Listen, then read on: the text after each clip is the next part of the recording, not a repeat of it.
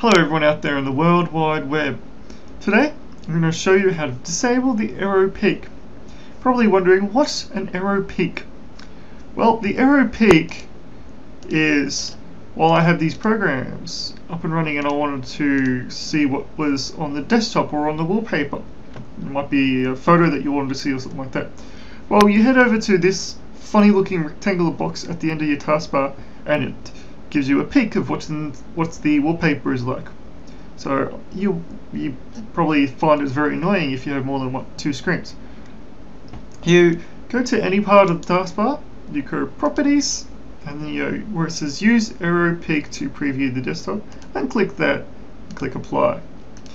And we go back over to that funny looking rectangle again, and it's no longer showing.